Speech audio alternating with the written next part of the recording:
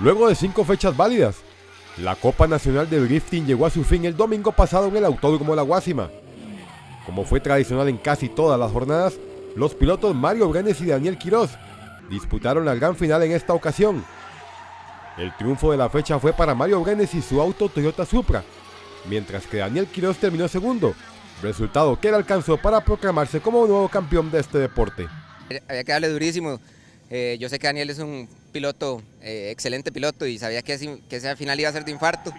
Y igual felicitarlo a él, de verdad que hicimos un excelente trabajo toda la temporada. Sí, la verdad estuvo bien, bien peleada. De hecho, nos tuvimos que ir a un One More Time y de cosas de, de, de, las carreras, pero de estuvo la verdad bastante, bastante bien. Ahora y con el cierre del Autódromo La Guásima durante el próximo año, los organizadores del drifting buscarán alternativas en donde llevar a cabo sus eventos en un deporte que creció fuertemente durante esta temporada.